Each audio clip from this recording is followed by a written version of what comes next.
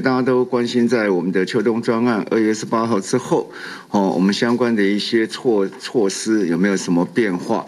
然后跟大家报告，基本上没有变化。基本上在秋冬专案在三月三呃三月一号起，哈，它还是持续的哈，照原来那样做。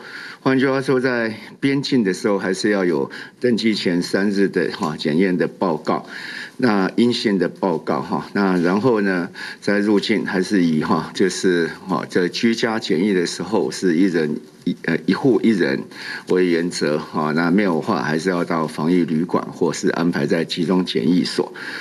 那在社区戴口罩哈，仍然八大的哈这样的一个场所，哦仍然是强制哈要求要戴口罩，哦那没有哈仍然照原来的方式哈要做开罚。那另外呢，在哈高铁上面哈，基本上大概还是维持戴口罩。那但是我们也开放可以饮食哈，那没有吃的时候就尽量要把口罩戴起来哈。